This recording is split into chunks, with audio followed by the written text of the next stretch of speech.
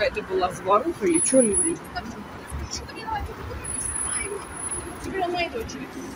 Да?